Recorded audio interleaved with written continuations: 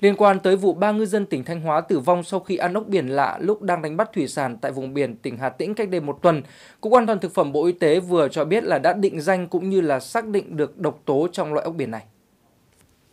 Loại ốc lạ mà ngư dân ăn được xác định thuộc loài Nassarius spp chứa độc tố tetrodotoxin, một chất độc thần kinh gây tử vong cao. À, chất độc chứa trong loại ốc này có hàm lượng khá cao là 8 là 60 mg trên 1 kg.